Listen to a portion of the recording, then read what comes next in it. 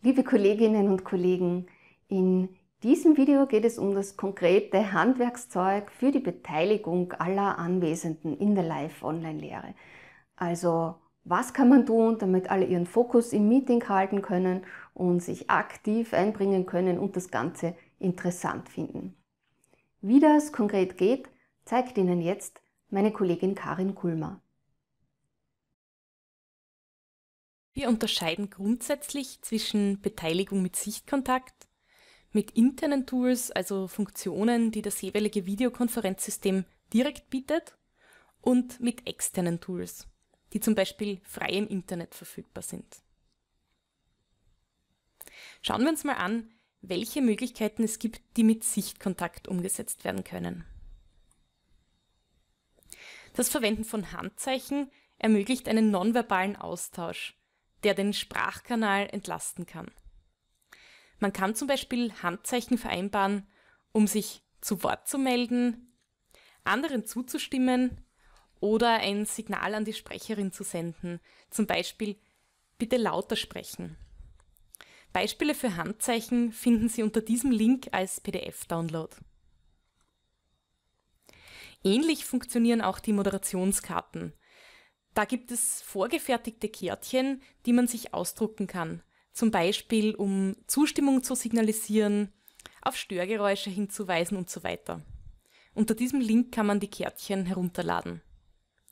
Ein Tipp dazu für Moderatorinnen und Moderatoren, einigen Sie sich schon vorab mit den Teilnehmerinnen auf einige wenige Kärtchen. So behalten Sie nämlich später leichter den Überblick. Eine weitere Möglichkeit für die Beteiligung per Sichtkontakt ist die manuelle Höhenangabe. Ich frage zum Beispiel meine Teilnehmerinnen, wie viel Vorerfahrung sie schon haben. Hand hoch heißt viel Vorerfahrung, Hand tief eher weniger. Für die Post-it-Methode brauchen alle Teilnehmerinnen farbige Post-its. Die Moderation bittet zuerst alle Teilnehmerinnen ihre Webcam mit dem Post-it abzukleben.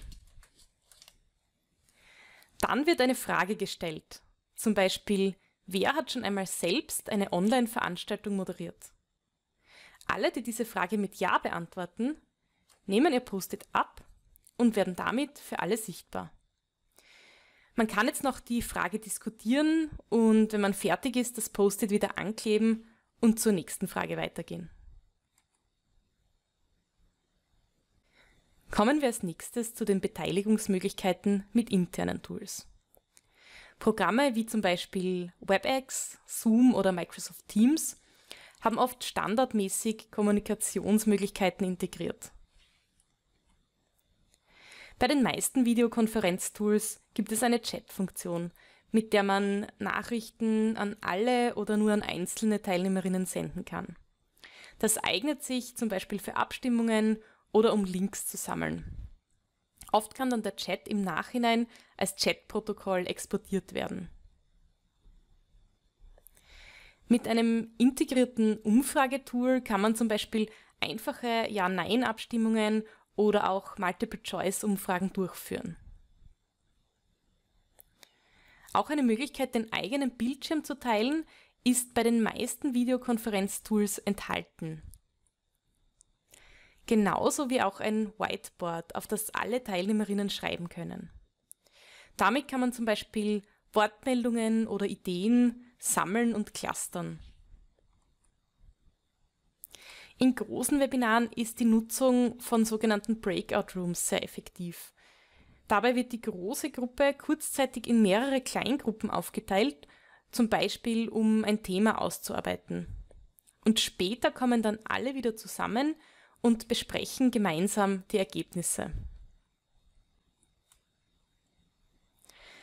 Auch die Status-Icons, die in manchen Systemen angezeigt werden können, kann man als Kommunikationsmittel nutzen. Zum Beispiel indem man fragt, können wir zum nächsten Punkt weitergehen? Ich bitte um einen Daumen nach oben. Und im Vergleich zur Chat-Funktion hat die Verwendung der Status-Icons den Vorteil, dass man in der Teilnehmerinnenliste dann auf einen Blick sehen kann, ob schon alle abgestimmt haben. Soweit zu den internen Tools. Aber was ist, wenn ich ein Videokonferenztool nutze, bei dem nicht alle Funktionen integriert sind? Dann habe ich die Möglichkeit, externe Tools zu nutzen und diese zum Beispiel über einen Link im Chat oder über die Bildschirmfreigabe einzubinden. Umfragen oder Quizzes kann man zum Beispiel mit dem Tool Slido erstellen. Man kann dort auch Fragen von Teilnehmerinnen vorab sammeln oder live sichtbar machen. Mit dem Tool Answergarden kann man eine Frage an die Gruppe stellen und die Antworten werden dann in einer großen Wortwolke gesammelt.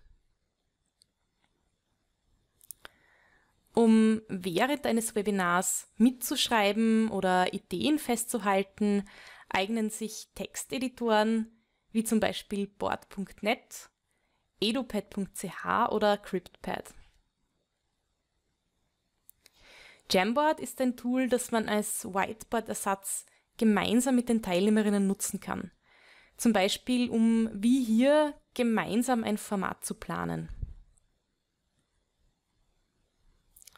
Mit Padlet kann man gemeinsam interaktive Boards erstellen und beispielsweise auf einer Landkarte sichtbar machen, wo sich die einzelnen Personen befinden. Und als Ersatz für Breakout Rooms kann man einzelne Gruppen in Microsoft Teams anlegen, in denen sich die Teilnehmerinnen während einer Gruppenarbeit untereinander austauschen können. Das war also ein Überblick über die Werkzeuge zur Kooperation und Beteiligung in Live-Online-Veranstaltungen. Diese Werkzeuge sind online noch wichtiger als in Präsenz, weil es ja online viel mehr Ablenkungspotenzial gibt. Mit einer gut geplanten, engmaschigen Beteiligung helfen Sie Ihren Teilnehmern dabei, auch in Online-Veranstaltungen den Fokus zu halten.